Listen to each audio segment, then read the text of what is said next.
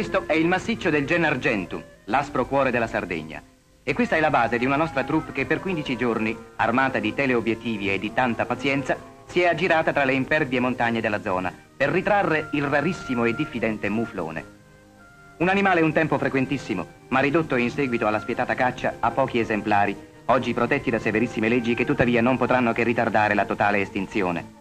Estinzione che dopo un centinaio di chilometri massacranti e inutili, i nostri tecnici ritennero fosse già avvenuta. Ne valeva a confortarli il laconico ottimismo delle taciturne guide.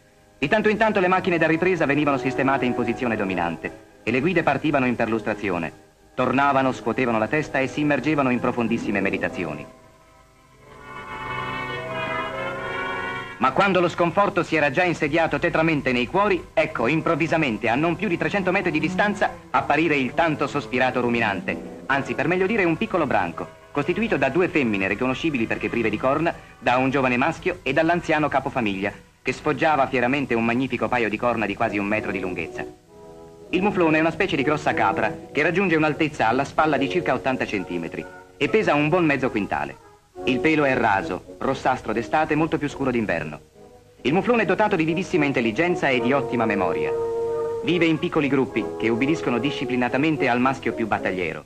È lui che sceglie i pascoli, che tiene l'ordine, che vigila sulla comune incolumità. E fu lui che, quando più che vedere intuì la presenza dei nostri tecnici, con il suo caratteristico fischio diede l'allarme.